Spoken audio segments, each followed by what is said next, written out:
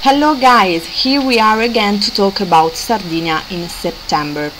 Um, I wanted to write an article about what to do in Sardinia in sept September. You have to know that sometimes in September and October you can also find not very good weather um, or, or, fantastic weather. It, it, depends on the year.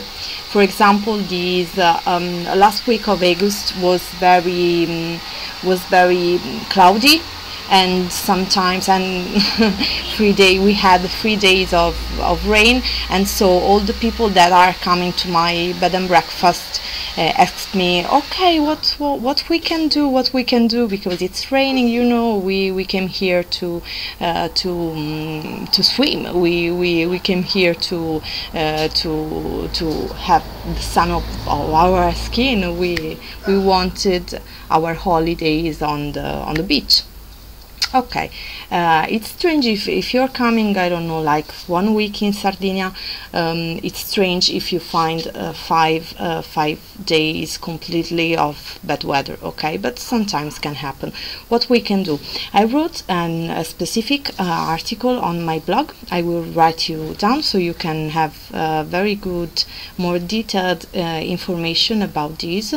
But the first thing I can tell you is that in Sardinia even if it's training you have uh, a lot of things to do and you can have um, a lot of um, you can anyway enjoy your holiday okay?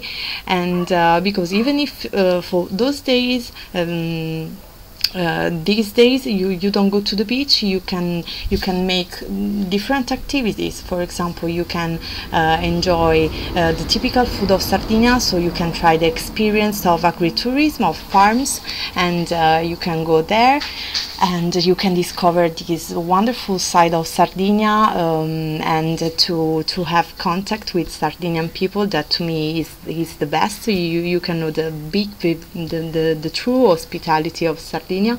And in these farms uh, you can eat this menu of typical food like handmade pasta handmade you can taste handmade wines and uh, also meat and uh, you can see around a lot of animals. So you can um, um, enjoy uh, the real nature of Sardinia. So uh, you will have a lot of things to to tell to friends and family. Of course, when you will come back, you you um, you will enjoy your holiday anyway and uh, this is the first thing. Oh if it's raining raining what what you can do? Uh, you of course you can um, I don't know you can visit some ancient village because Sardinia is full of ancient villages and full of um, history. And it's very fascinating cool to have a walk in these villages. For example near Olbia um, I talk uh, I talked about um, about it in my article. Near Olbia we have for example San Pantaleo. Near Costa Smeralda we have Posada with the castle and it's very very nice to walk and to discover all the artisanship. And so you can uh, also know uh, that side of Sardinia that you um, that is not so uh, sponsorized. So um, before coming to Sardinia you know mm, you you have these images only of the coast of the sun and um, and other things.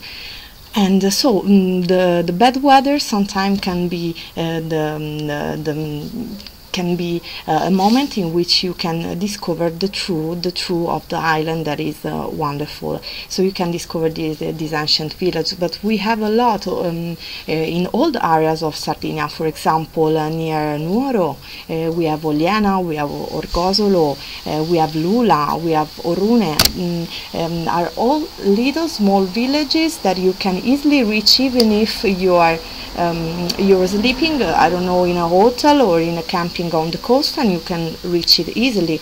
Uh, the internal, internal, very internal areas are a little bit hard to uh, to reach but um, or in case you you, you decided uh, to to visit the internal areas and you you are all um, already there uh, but anyway if you um, if you are in a specific part of Sardinia also in the coast and, and the weather is not very good, uh, you have um, a lot of places to visit. Also the museum, uh, museums, so um, little, little museums Oh, you can uh, also book uh, different excursions that are, are not on the um, on the sea, not by boat. Uh, we have a lot of things uh, really, and um, especially uh, on the side of nature. And um, uh, just so, um, if you want some ideas, uh, just uh, write me. You can write me here on YouTube. You can write me through my blog. Sorry for my hair; they are terrible today. and and I would be very glad to to help. See you.